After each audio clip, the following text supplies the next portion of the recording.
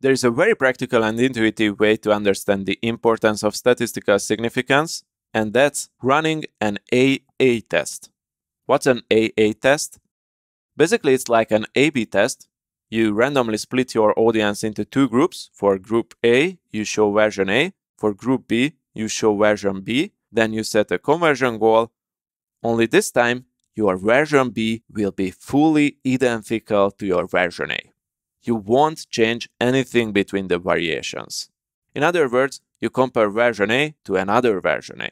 Why is this useful? Because with that, you can see natural variance in action. When you start an AA test, you will see one of the versions beat the other one, despite the fact that you changed nothing. Here's an AA test I ran on the Data36 blog.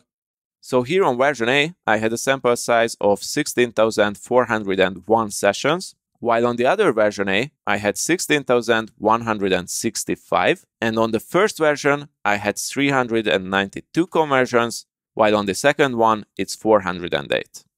That's plus 5.6% for the second version, and let's be honest here, we have all seen good marketers selling similar results internally to the company.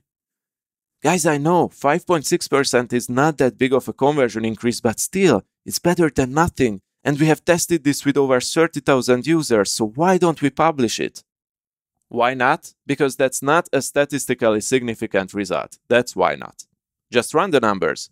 The statistical significance of this test is 78% only. So there is a 22% probability that this result is totally random. And since this is an AA test, we know for a fact that the increase is totally random.